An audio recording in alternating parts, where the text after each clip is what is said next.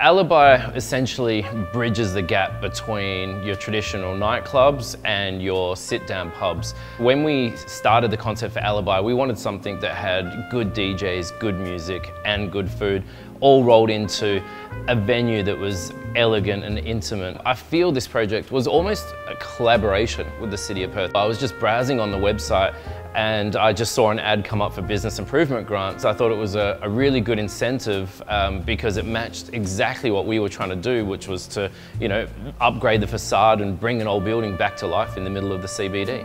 We received the full 25,000, which I believe was the maximum limit for the city, and we put that towards the outside of the, the buildings. So we were fortunate enough to re-render the whole building, repaint it all, new signage, new LED lights. So I feel now with the, the money that's been spent and the works that's been done on the building that we are a statement to Northbridge, and, I, and I'm confident we're going to be here for many years to come.